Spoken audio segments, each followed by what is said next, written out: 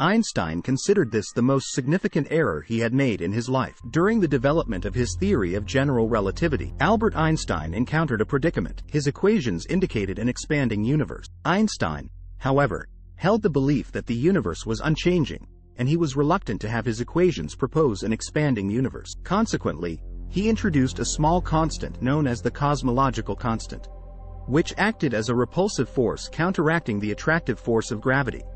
This addition was intended to maintain a static universe. Nevertheless, in 1929, Edwin Hubble's observations revealed that the universe was expanding, rendering Einstein's cosmological constant unnecessary.